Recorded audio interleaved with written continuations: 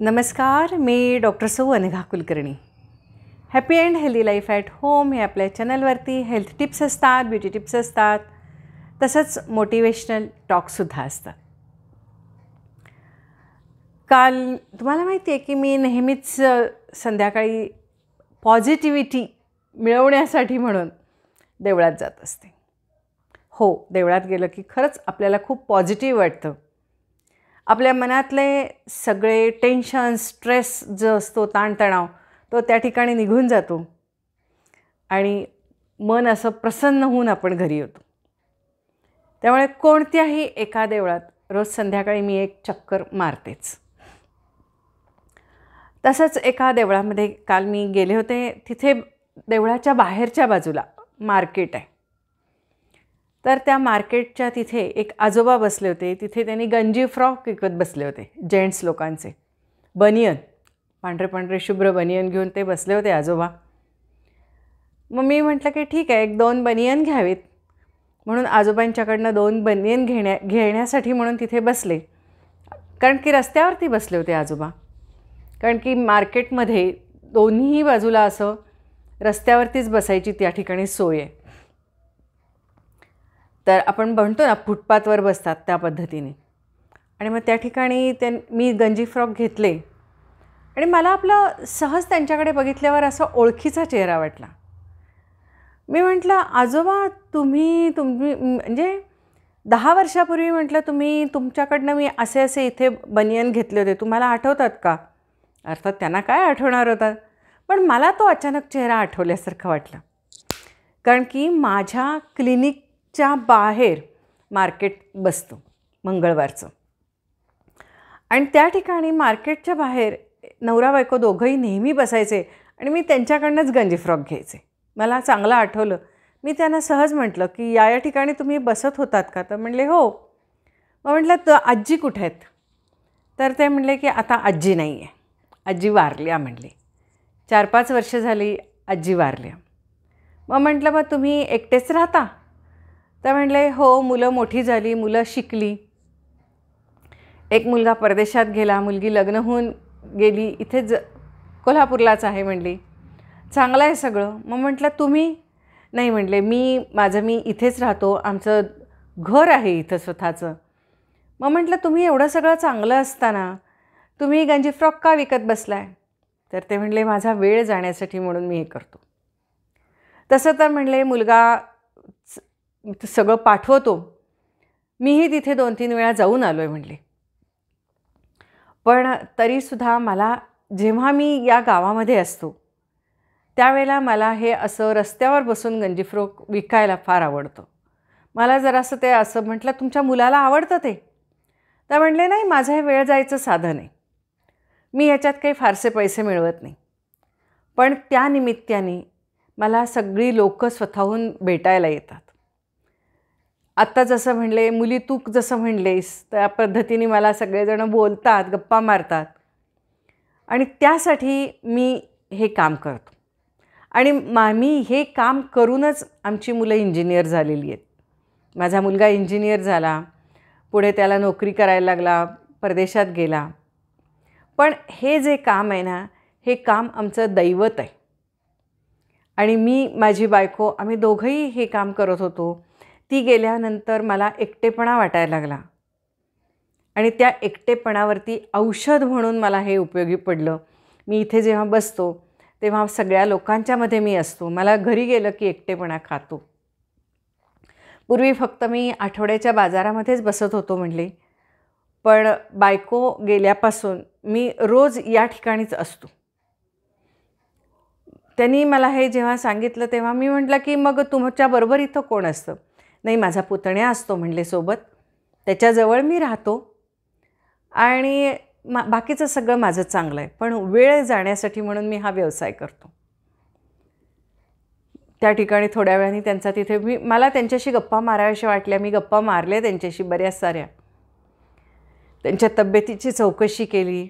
त्यांनी माझीही चौकशी केली. त्यांना सगळं आठवत होतं त्यावेळचं. कारण की ते दर मंगळवारी आमच्या क्लिनिकच्या तिथे जवळच बसत होते गंजी फ्रॉक विकायला बनियन विकायला. मग ते बोलता बोलता असं म्हणाले की म्हणले बायको गेल्यापासून एकटेपणा जाणवायला लागला. आणि त्यामुळे मग त्या एकटेपणामुळं जेव्हा मी एकटा असायचो तेव्हा मला असं वाटायचं की मला माझ्या मुलांनी माझ्यासोबत असावं मुलीनं माझ्यासोबत असावं की मी त्यांच्याबरोबर राहावं असं मला वाटायचं. ते आजोबा सांगत होते मला. पण एक दोन वेळा त्यांच्या तिकडे जाऊन आल्यावरती माझ्या मुलीच्याकडेही मी वर्षातनं एक दोन वेळा जातो म्हणले. पण नेहमीच त्या ठिकाणी जाऊन माझं मन रमत नाही आहे मला तिकडे गेलं की आणि जास्त माझ्या बायकोची आठवण येते. कारण की मुलांच्याकडे गेलं की ते सर्वजणं त्यांच्या संसारात मग्न असतात. आणि मला जास्त माझ्या बायकोची जास्त आठवण येते. आणि म्हणून मग मी पुन्हा माझ्या गावामध्ये आलो की हे माझं नेहमीचं जे काम आहे ना ते करतो त्यामुळे माझं मन रमतं. त्या पूर्वीच्या सगळ्या ज्या आठवणी आहेत बायकोसोबतच्या त्या मला येतात आणि त्यामुळं पुन्हा मला जगण्याची उमेद मिळते. मला मग मी म्हटलं तुम्हाला दुःख होतं का पूर्वीच्या सगळ्या आठवणी? नाही म्हणले. सुरुवातीला पहिले काही वर्ष दुःख वाटायचं ती नाही यायचं. पण माणसाला त्याची सवय होते. ती नसण्याची पण आता सवय झाली पण तिच्या आठवणी मात्र माझ्यासोबत आहेत. इतकं छान वाक्य मला त्यांचं वाटलं. खरं तर मला असं त्यांच्याशी बोलताना मला व्हिडिओ करायचा होता. पण ते फक्त एवढंच म्हणाले मला नको मुली माझ्या मुलाला नाही आवडणार ते. कारण की तो तिथे शेवटी मुलाला हे आवडायला पाहिजे. त्याला माहिती आहे म्हणले मी हे सगळं करतो. पण असं हे जगजाहीर होणं त्याला आवडणार नाही. त्यामुळे व्हिडिओ करू नकोस. म्हणून मग मी हा त्यांचा जो अनुभव होता ना तो मी तुमच्याशी शेअर करायचं ठरवलं. या यूट्यूबच्या माध्यमातून. आणि मला एक लक्षात आलं की आपण काय काम कर करतो आहे हे खरंच काही फारसं महत्त्वाचं नसतं. वय झाल्यावरती एकटं पडल्यावरती आपण सतत एखाद्या कामात मग्न असणं फार महत्त्वाचं आहे. आणि जर का ते मग्न नसेल ना तर विनाकारणच आपण आपल्या मुलांना त्रास देत राहतो. किंवा आपल्याला सारखं असं वाटत राहतं की मुलं आपल्यावरती अन्याय करतायत. मुलं आपल्यासोबत नाही आहेत असं आपल्याला वाटत राहतं. पण जर का आपण आपल्या स्वतःच्या कामामध्ये मग्न असलो ना की अजिबात असं वाटत नाही. उलट एक नव्या पद्धतीने आपण ते जीवन जगत असतो किंवा रोजचा दिवस हा नवीन करून आपण जगत असतो. रोजचा दिवस आपण आनंदाने जगत असतो. मला खूप छान वाटलं ते जे काय म्हणाले ते की मी काय काम करतो याबद्दल मला अजिबात लाज वाटत नाही. उलट मी खूप बिझी असतो. माझ्याकडे पैसे कमी आहेत असं नाही म्हणले. मी पैशासाठी हे काम करतच नाही. तर माझं वेळ जाण्यासाठी काम करतो. मी त्यांना असंही म्हटलं की मग छोटंसं टपरी किंवा छोटासा गाळा घेऊन तुम्ही का करत नाही हे? कारण की असं इथं रस्त्यावर बसणं बरोबर वाटत नाही ना. ते म्हणले पुन्हा तर त्यांनी मला काय उत्तर दिलं? कशाला त्या इन्व्हेस्टमेंट करायच्या? म्हणले. आणि म्हणले गाळा घेतला मोठा तर त्याचं भाडं जायला पाहिजे तिथं एक मुलगा ठेवायला पाहिजे कामाला. आणि विक्री पण चांगली व्हायला पाहिजे. तसं म्हणले या ठिकाणी नाही आहे मी जेवढे बनियन आणतो तेवढे गेले. वरती काय एक शंभर रुपये जरी मला राहिले तरी मला चालतात. किंवा अगदी नो प्रॉफिट नो लॉस याच्यावरती सुद्धा म्हणले मी हे काम करू शकतो. कारण मला पैशाची गरज नाही आहे तर रोजचा वेळ माझा छान कसा जाईल हे मला पाहिजे असतं. आणि त्यामुळं मी माझी तब्येत छान राहते. लोकांशी बोलत असतो. आणि म्हणले की मी रस्त्यावर असतो त्यामुळे मला ये येणं जाणं लोकांचं दिसत असतं. निरनिळ्या गाड्या दिसत असतात. माझा वेळ खूप छान जातो.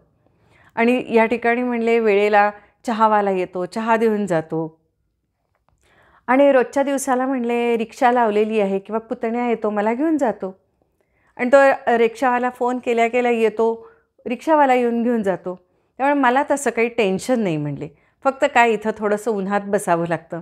पण ती आता आम्हाला पहिल्यापासून सवय आहे म्हणले. इतकं छान बोलत होते ते. मला त्यांच्याकडनं हा एक गुण घ्यावासा वाटला की समाधान. समाधानाने ते इथं राहत होते. त्यांचा कुठलाही कुठलीही तक्रार नव्हती मुलांच्याबद्दल नव्हती स्वतःबद्दल नव्हती किंवा बायको निघून गेली आहे मी एकटाच राहिलो आहे अशी सुद्धा त्यांची कोणतीही तक्रार नव्हती. उलट इतकं छान त्यांनी लाईफ स्वतः ॲक्सेप्ट केलं होतं आणि जगत होते की मला असंच वाटलं की सर्वांनी हे असं आयुष्य ॲक्सेप्ट करायला पाहिजे. आपण नाहीतर तक्रारी करण्यामध्ये इतके पटाईत असतो इतके पटाईत असतो इतक्या आपण जीवनामध्ये खोड्या काढत असतो. देवानं आपल्याला इतकं काय काय दिलेलं असतं काय दिलं याकडे आपण लक्षच देत नाही.